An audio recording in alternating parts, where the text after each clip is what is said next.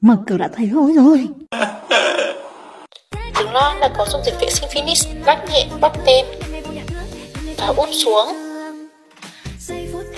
Đóng nắp máy lại. Chọn chương trình mua sinh kê hoặc chương trình rửa bằng nhiệt độ cao nhất. Và ấn Start dùng dung dịch 3 tháng một lần hoặc sử dụng viên vệ sinh mỗi lần sử dụng một viên. Đặt dưới đáy của máy rửa bát. Cũng chọn chương trình mua sinh kê hoặc chương trình rửa bằng nhiệt độ cao nhất và ấn Start. Dùng xong hơi thơm cứ gọi là ngào ngạt.